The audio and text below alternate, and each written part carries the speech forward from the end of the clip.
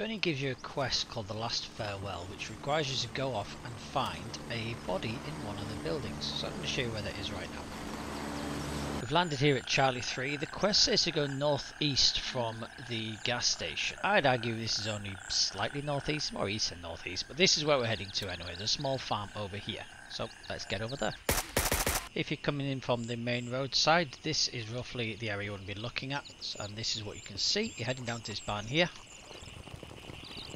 Previously when I did this, there was a lot of AI knocking about here. There was actually stood on each other's shoulders. It's very weird here is the body you're looking for. Now at this point you will completed both quests to a certain level because you'll have two to choose from.